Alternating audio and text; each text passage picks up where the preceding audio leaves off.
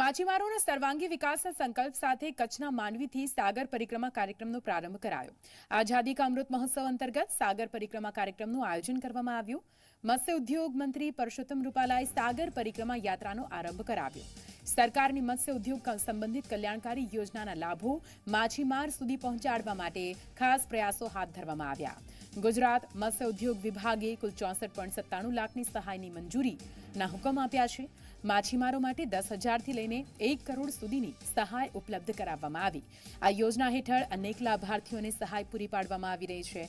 આ સાગર પરિક્રમાનો મુખ્ય ઉદ્દેશ્ય માછીમારોને લગતી યોજનાઓ અંગે માછીમારોને અવગત કરાવવાનો છે. આ સાથે માછીમારોની સમસ્યા જાણીને તેનો ઉકેલ લાવવાનો પણ ઉદ્દેશ્ય છે. રાષ્ટ્રીય મત્સ્ય વિકાસ બોર્ડ અને મત્સ્ય ઉદ્યોગ વિભાગ, ભારતીય coast guard fisheries survey of India, Gujarat maritime board અને માછીમારોના પ્રતિનિધિઓએ સાગર પરિક્રમા અભિયાનનું આયોજન કર્યું છે. દેશ પાસે આઠ હજાર એકસો અઢાર કિલોમીટરનો દરિયા કિનારો છે.